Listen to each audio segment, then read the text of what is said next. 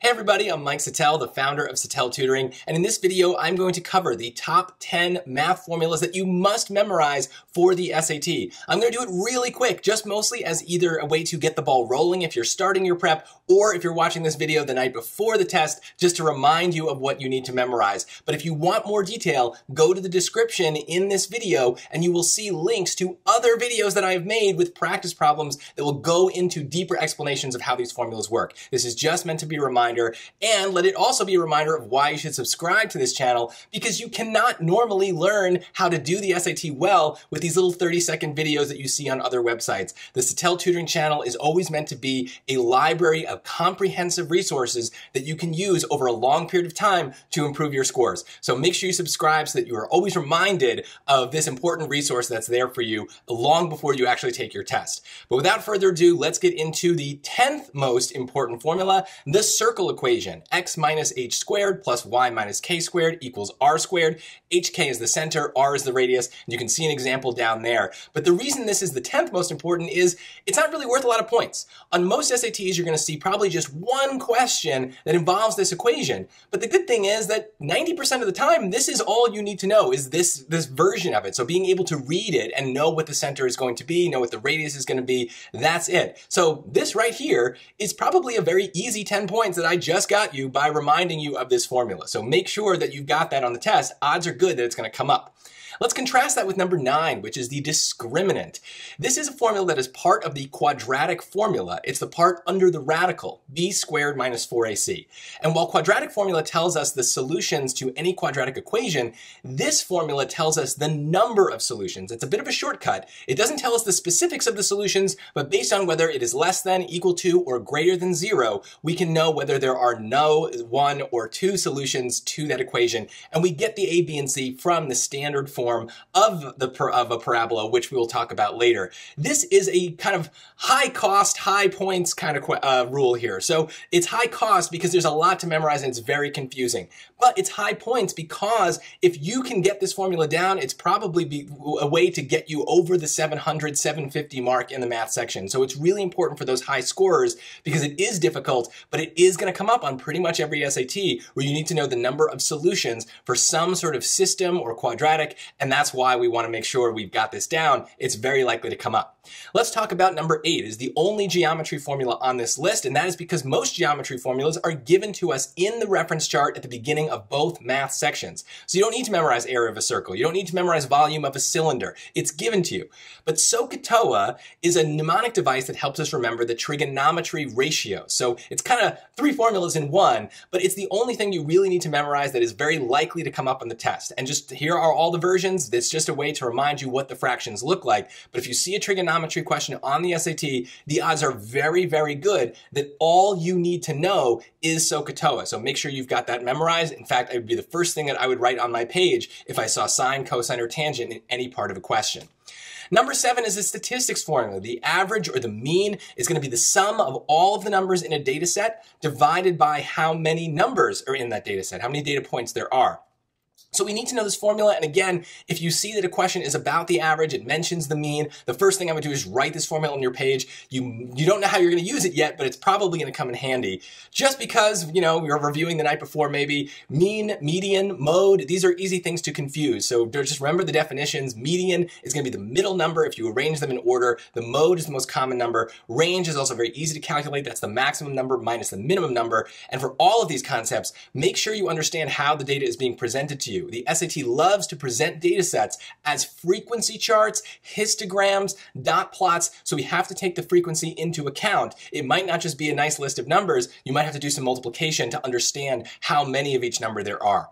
Let's take a look at numbers six and five. They're linked. They are both versions of quadratic equations. We have the standard form, y equals ax squared plus bx plus c, and the root or factored form. And we move between these a lot. That's why they're on the same slide here. We both need to factor and FOIL for lots lots of questions on the SAT. So these are really important formulas. But beyond just being able to solve a quadratic equation by factoring, we also need to understand what it gives us about the parabola when we see these two equations. So the standard form is going to tell us the direction of the parabola. If it's smiling, if it's opening upward, it's because that A term is positive. A frown would be if it opens down, if its A term is negative. And then the C is going to give us the y-intercept. And then for the root or factored form, the reason we do that is to find the x-intercepts of the parabola. There's usually going to be two of them when we do this, but also just remember that when we factor, we get these little parentheses terms, but the actual root is going to be the flipped sign. So if it says like minus 3, x minus 3, that's telling us that the x-intercept is positive 3. That's a very common mistake to make.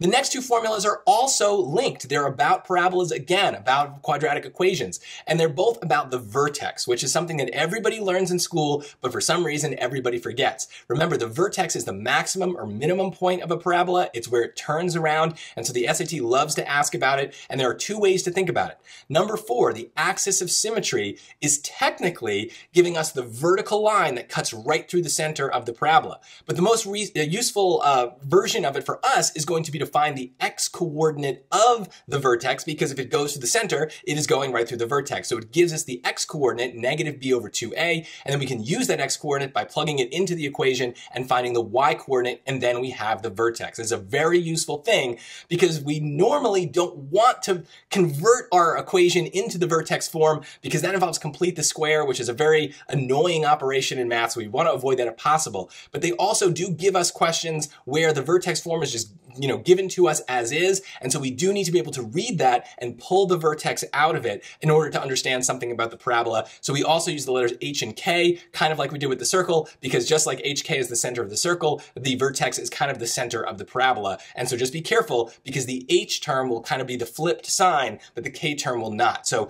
that formula is really good. You are almost certainly going to see it on every SAT.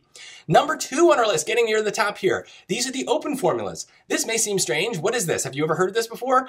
Probably not, because unless you're subscribed to my channel, this is a completely made up formula that I made because percentages are so annoying on the SAT. It's where a lot of trap answers show up. So I made these three formulas to help us understand how percentages work and to prevent mistakes on these questions. This is really important. This is why it's number two, is this is a case where the SAT is absolutely going to mess with you, but this formula was designed to keep you from falling into their traps. So there are three versions. The general open formula, it looks like the word open, is when we want to find the percentage of something. So like what is 5% of 300? That's how we would use this OP equals N, where O is the original, P is the percentage as a decimal, and N is the new amount that we're getting out. But most often the SAT is going to ask us for percent change, percent greater than, percent less than. And so that's where this 1 plus or minus P version comes in, and that lets us incorporate this change in there. And the most important thing to remember is what is the original amount that we're taking the percent of versus what is the new amount that we're kind of getting out of this. That's easy to confuse, but this formula forces us to think about that. And then the open formula can also work when we have exponential equations because we can just top, uh, put a little t at the top of the percentage, and now we can take a percentage multiple times over multiple years, months, days, weeks, whatever it is, and that is a connection to these other percentage things. So this is again kind of like three formulas in one, and it's really helpful because the less we have to memorize, the better. And if we can link all these percentage ideas together, then hopefully we'll be uh, able to avoid the traps on all three types of questions. And now for the most important formula you need for the SAT, it is the linear equation, y equals mx plus b. And this may seem anticlimactic because it's probably one of the easiest ones on this list. So why is it number one? Well, because it appears everywhere on the SAT. Like 25% of the SAT is just lines. So we have to be able to read this equation really well, right? Be able to pull the slope, which is the m, and the y-intercept, which is the b, out of this equation really quickly. We need to be able to build linear equations really quickly. So writing y equals mx plus b on your page is really, really important. And a lot of the story questions on the SAT involve involve lines. So we, be, we also need to be able to translate back into this algebra if we have a story. And they won't use the word slope and y-intercept, but they'll use words like rate or change to indicate a, a slope or a starting point or initial value to indicate a y-intercept. So we can build linear equations very easily from most story questions.